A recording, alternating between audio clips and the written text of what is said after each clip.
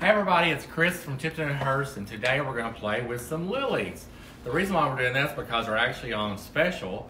Um, to, all week long, we're going to have these. These are only be eight dollars a stem, and they're on sale for six dollars a stem. So first off, we're going to prep our container. So here's our rubrum pink, or pink rubrum lilies we're going to work with. And we'll depollinate those in a second. We're going to work with a little bit of equisetum, or river cane, or snake grass and some flax and two pieces of dianthus.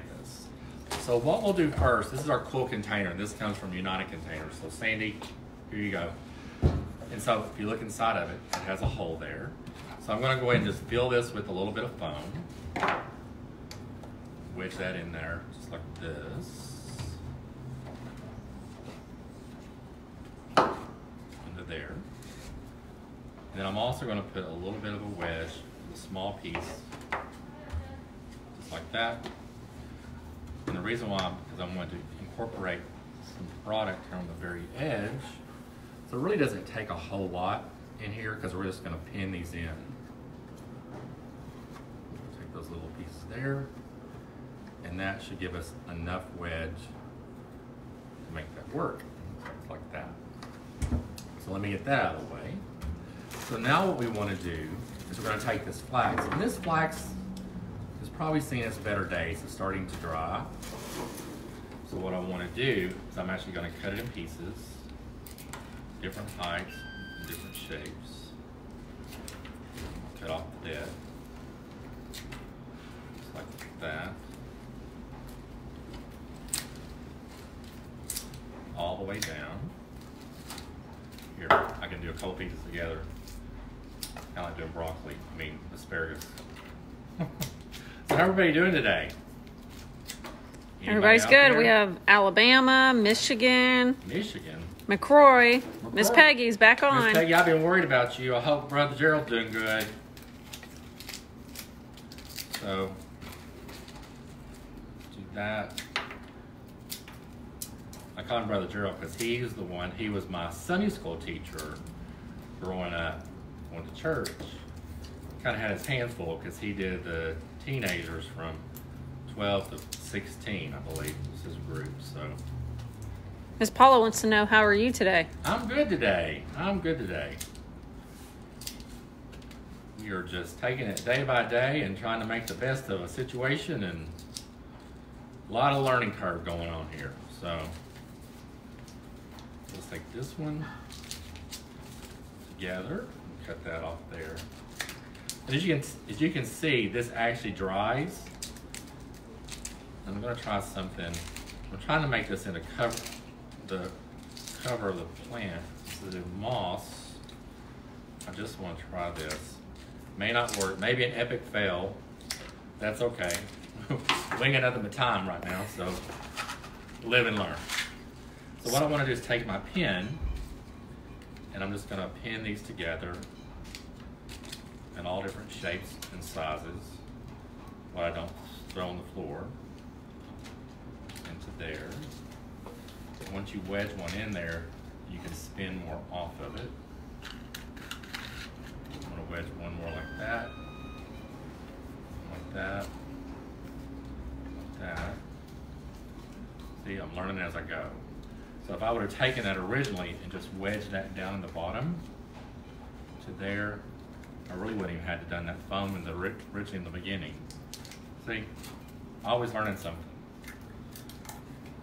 As a lot of you know, I make it up as I go anyway, so, so that's the fun part of it.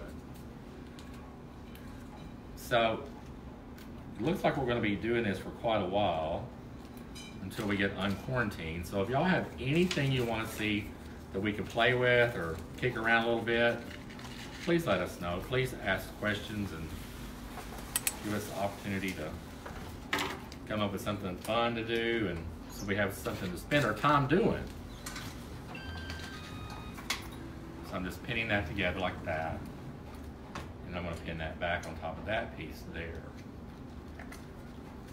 So it makes it a little bit more of a contemporary pave top you know, may not be for everybody, but I just want to do something a little different. Gotta kind of got to keep my pen fresh here.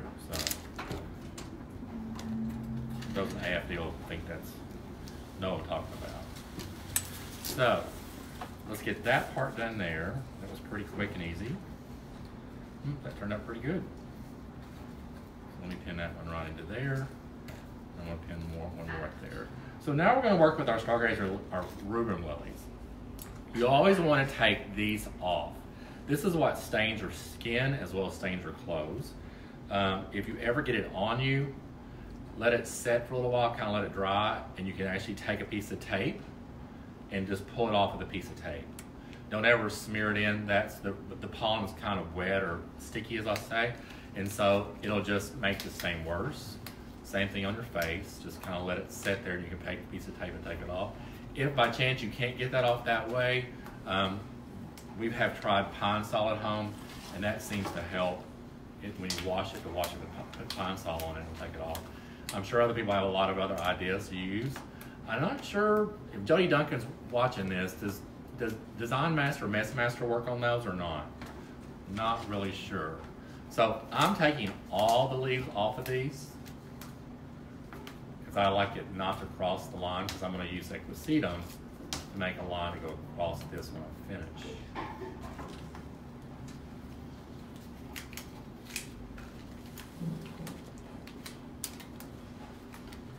Plus this also, I promise, helps open the buds for you. Just want to pop that out. And pop that out. So if you have anybody that's a competition designer out there, actually, you always want to take these off. I lost Southern Retail one time because I left anthers on them, or the, the anthers on the inside of a, an Asiatic lily. I thought it looked pretty. The judges did not, and so I lost. That's what made me lose by I think two points or something. Southern Retail one time.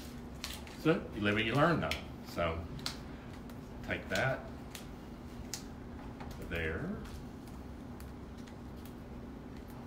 I'm gonna take that off again. Just gonna pull those right off.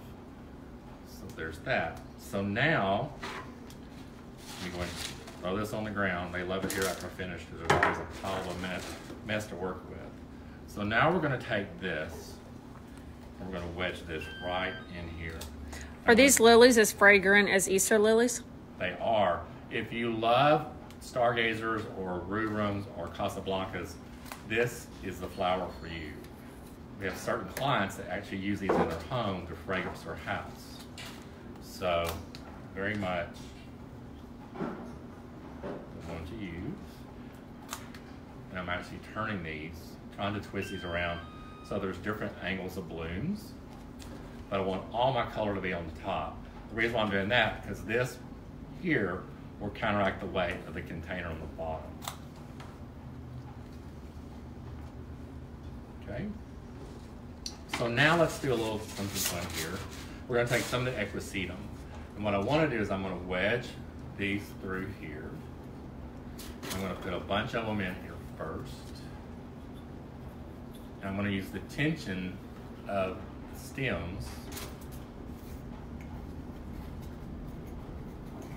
Janae said she loves stargazers. Janae does. Janae does. Well, Janae too hates them.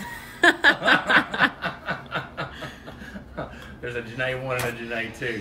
My Janae is not a big fan. It gives her a headache. Oops.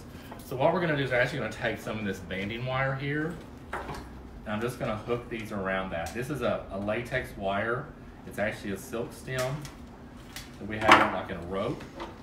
Uh, and we're just going to catch these here and there to hold those in place for us. There. Well, Miss Janae, if you like some lilies, we're going to fix you up. This is her week to get them. That's her week to get them. Actually, I meant to go this way with it.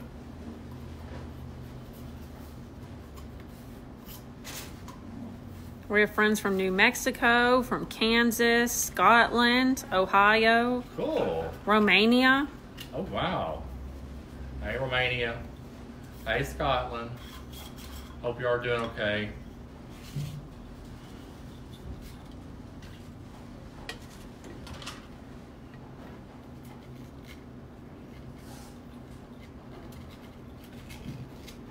I thought this wire would work well, but it's kind of hard to deal with.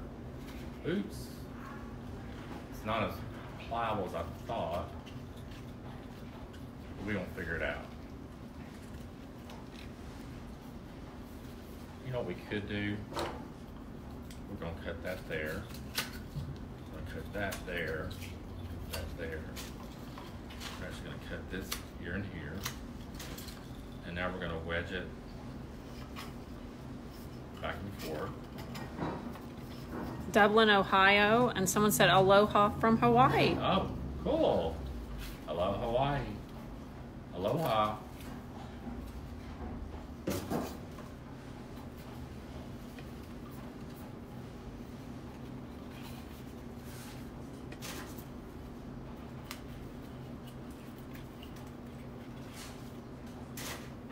Someone said they hope that you continue daily happies even after quarantine.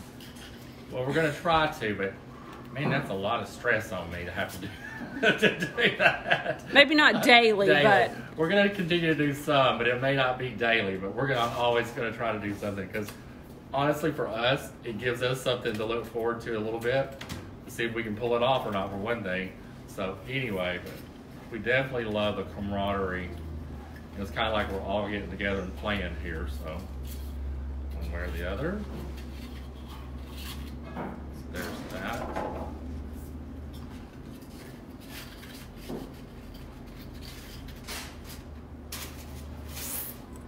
So for all my garden club fans, this one's for you.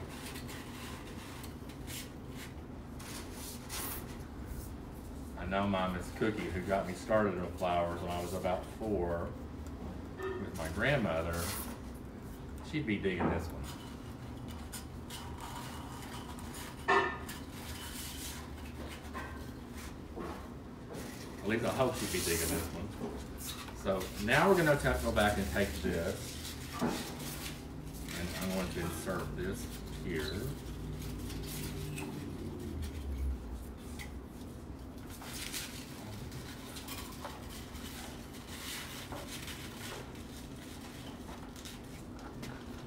And I'm gonna take a pin. I'm gonna try to pin this, but it probably won't work. But it did. And I'll insert this here.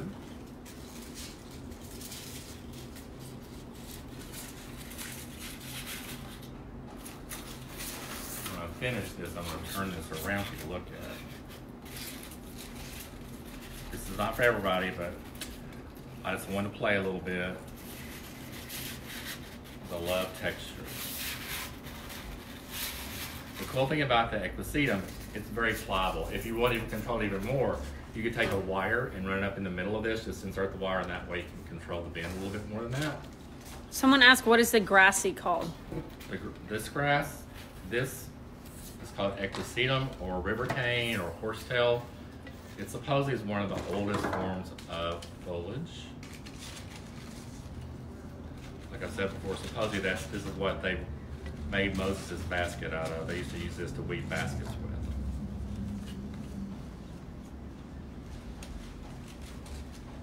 So now we're gonna take these two lilies. And I was kind of waiting for the very end to put this in because I didn't want this to get beat up, of course. That one in there. And if I need to, I'll take this little piece dianthus. I'm gonna spin this around so you can see the finished product.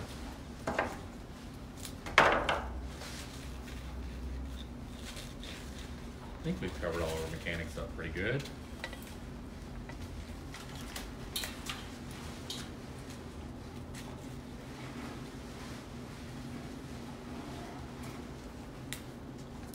One in the back. Let me spin this around, clean the space. So, that's my take on playing with lilies today. Do you ever use lighting in your arrangements? Um, depends on what it's for. We do a lot of times we'll do something like that for event work. We'll put lighting in it. Um, it just depends on if it's needed or not. So And where did you say the vessel came from? this comes Tipton and Hurst. but actually, if you're a Florida, it comes from United Containers. Um, I think it's uh, UCI. Yeah. Anyway, Sandy Shrek out there. This is her one of she reps this line. So if you have any questions, just call me and I'll give her you her information. If she's not online, and a lot of times she'll respond, so she can actually give you the item number. I think it's still on the line. I've had this name for about two years, but they've got cool stuff that would be just as well to work with. So anyway. Hopefully everyone's had a good day today, and I hope y'all have enjoyed watching and have a little bit of happy. And tomorrow we're going to make a hand-tied bouquet because tomorrow is happy hour all day long, Tipton and Hurst. So we're gonna go play in the cooler tomorrow. So we will see you tomorrow, and y'all have a blessed day. And thanks for watching.